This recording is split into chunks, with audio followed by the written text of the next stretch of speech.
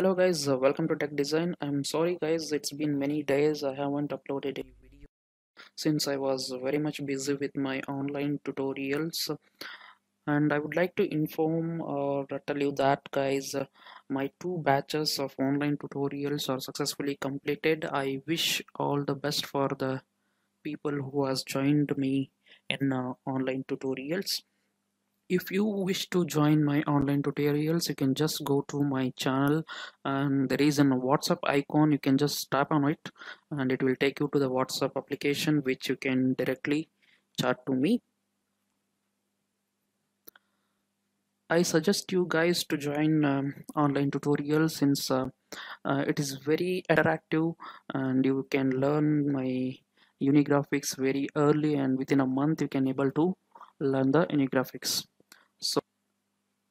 okay let's move on to the tutorial today's tutorial. So I'll go to NX and in this tutorial I'll be explaining you how we can make an offset surface as well as giving a thickness to a surface. So let us go to the new file and uh, I'll quickly go to new file and create a new file here. Uh, as you can see this is a no coordinate system. So to explain you uh, offset surface I just wanted to create a surface here just go to sketcher environment and let us select in a random datum plane. And I will just uh, make some sketch here. An arc here. Okay let us finish this sketch and uh, I'll extrude this to get a surface. So you can see here uh, surface is developed. Click ok and what I will do is uh, suppose if you want to offset this uh, surface just go to the surface tool command uh, called offset surface. So if you can see here the offset uh, default uh, offset distance will be 5 mm. So you can select uh, surface here. You can the offset surface will be generated. So if you want you can give more distance. I'll just give the 40 mm and as you can see okay the offset surface will be generated. Suppose if you want it in the other direction just go to the offset again and uh, select this uh, surface and give it in the reverse direction. Either you can give it as a reverse direction or else you can give the value in negative. So hit enter so it will create in the opposite direction. So uh, also you can see here in the offset curve uh, there is an uh, a very important uh, feature called uh, output how you need the output surface.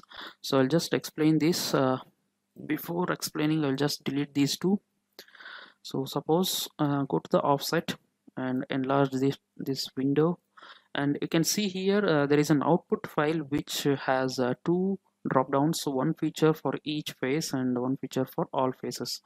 As the sentence uh, gives you a clarity so what I will do is I will just select the face and uh, if you want the offset surface should be in a single surface. So you can select this and by default this will be on. And if you select only one surface uh, will be generated. Uh, suppose if you want the individual surfaces to be generated suppose go to the one feature for each face and select this. So there are two surfaces here. Uh, one is with a straight line and the other is with the arc. So it will generate two offset features uh, for individual. You can see here uh, two offset surfaces are generated. In the same offset command uh, there is a list here. You can add a many number of lists. So what I will do is I will just select a single face here and I want to offset this surface on this direction with about uh, 70 mm. And I want to add a one more set of uh, surface. If you can see here uh, I want to uh, I want to offset this uh, surface on the other direction. You can add a number of uh, sets here to offset in different different directions. And make sure that when you are using this you should always have one feature for uh, each face and then now if you click ok you can have uh, two different uh, offsets in different directions. So this is all about uh, offset curve guys. So let's move on to the thickness. So now let's go to thicken command. So uh, in surface uh, toolbar there is a thicken command here. So it will give as you know if you are working in uh, uh, unigraphics or surface modeling you should have know that uh, in unigraphics the surfaces is not having any thickness it is of zero thickness there is no thickness for the surfaces. So once you do modeling any modeling in the surface uh, uh, or workbench you need to give some amount of thickness for that. So for that I will we need to go to thickness command and here you need to select a surface so you can see here uh, select the surface and you can see there is a thickness of 2.5 mm if you want you can reduce it or you can increase it. So and also you can select the direction on in which uh, you need uh, the thickness. So you can click ok and it will be in solid mode. So thickness uh, will be given to the surface so in the same thicken command uh, there are some uh, other options which are very useful. So what I will do is I'll just go here and let us expand this. So region behavior. So before going to region behavior uh, I'll just uh, create one of the sketch in order to explain that. So let us go to sketcher environment and uh, now we are into the sketcher environment. So what I will do is I will just create an uh, closed surface. So we should have always a closed surface for uh, uh, this to work. So what I will do is I will take an arc. Okay. Let's close this and one more arc over here with uh, less radius. And uh, let us close this this is a rough sketch in order to show you guys how it works. So you can see here there is an uh, constraint which is showing the the only in this position in this uh, location it is having a tangency. So let us give a tangency in other side as well. Press C for uh, shortcut. So let us go to tangent and uh, make these two tangent as well as these two as well as this one sketch is fully constrained. Okay. Yeah. So now what I will do is I will just close it and uh, finish the sketch. You can see this this uh, sketch is on this surface. So what I'll do is I will just go to thicken and uh, I'll select this surface entire surface and 2 mm is the thickness given by default so I'll just expand this region behavior. So here you can see region to pierce. So what is what does this mean is so you need to select a region that is closed region in which you don't need to give a thickness. Suppose for example I want I will select this surface. So go to select curve and uh, let us select this curve.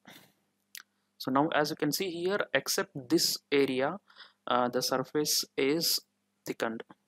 So this is not having any thickness over here and uh, okay you can see here I'll just show you with a zoom.